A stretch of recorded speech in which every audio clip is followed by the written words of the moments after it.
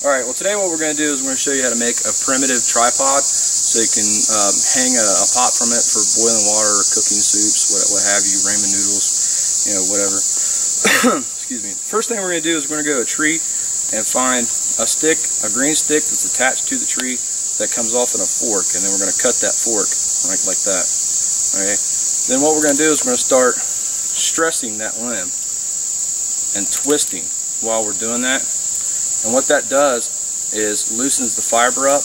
You know, we can even bend it a little bit. Just we're loosening those fibers up as much as we can. Obviously, you see I've already done it to this one. and then what that's for is we're actually going to make this into kind of cordage almost, and that's what we're going to tie our tripod up for. So I'm going to get these three sticks together, and we'll show you how to lash that together and show you how to use it. All right, so we got three fairly straight sticks, and what we're going to do is we're going to arrange them pretty much how we want them.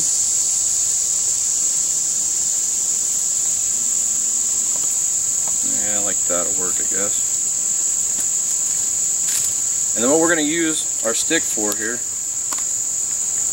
it's been a long time since I've heard this. I think they're called, this is called a wooby stick or something like that. I can't remember exactly.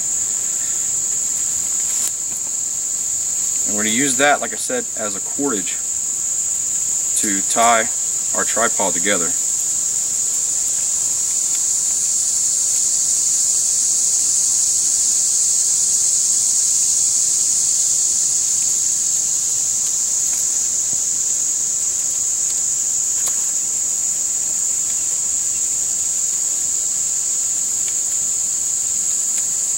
Just a basic knot will do. It's just holding everything together for us.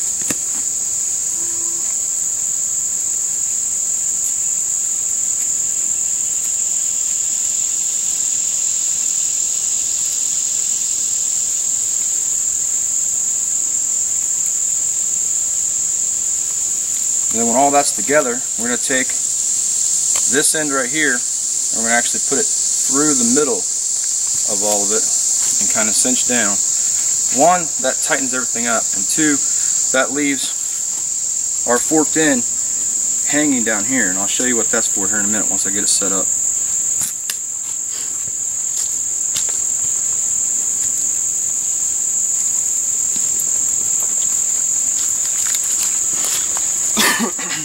so, with our forked end right here, we can actually hang our pots or anything like that from it, and that can dangle over the fire.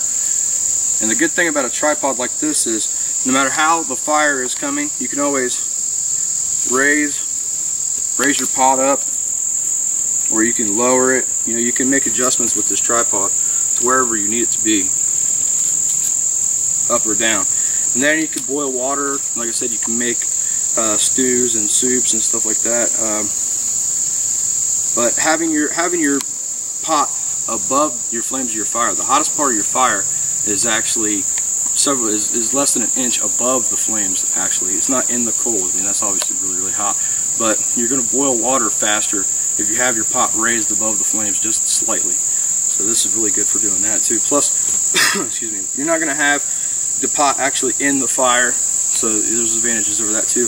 Plus all you need to do is grab your stick like this to get it out of the fire and then you can grab another stick to get your pot off so it might be a little bit safer to cook that way as well. But this has been William for Mind 101. Thanks for watching. So here's uh, the finished product of the primitive tripod. Will's boiling his water. And you can see why that uh, those fish mouth spreaders are just like the greatest thing anyone ever figured out.